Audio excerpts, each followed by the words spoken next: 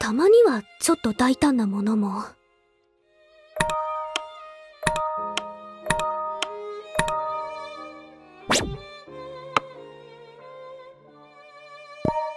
誰に連絡しましょうか？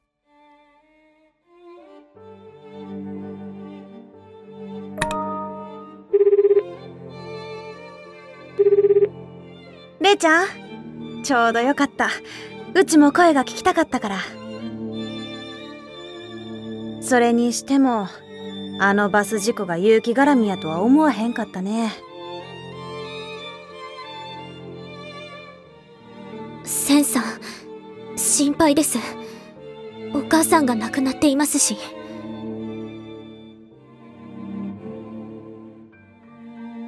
うちらの前では相当無理してる感じやったからな張り詰めてる間はまだ大丈夫かもしれんけどちょっとした拍子で心が揺らいだら一気に崩れそうで。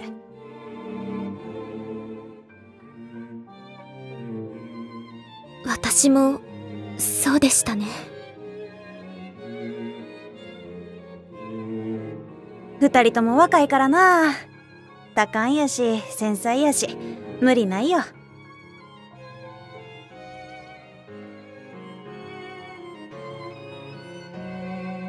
若いって。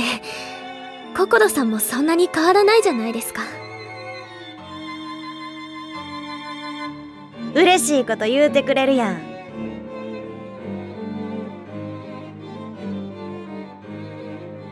それにしてもバス事故って1年前やろ？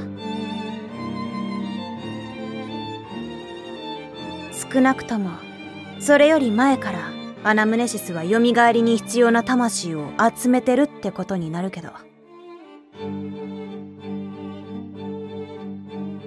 もしかしたらあと少しなんちゃうかな。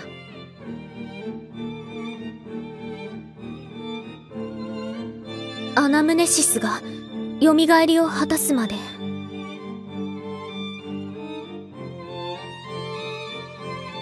レイちゃんにちょっかい出さんと蘇りに専念してたらもう完全に蘇りしててもおかしない感じなんやけど。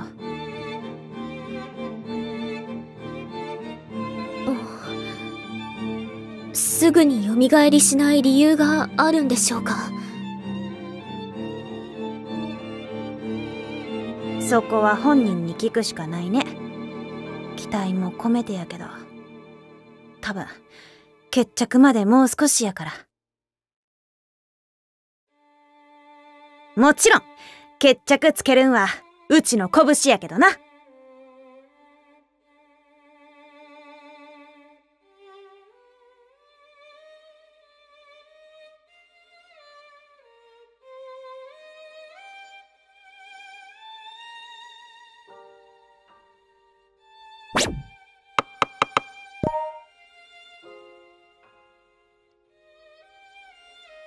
you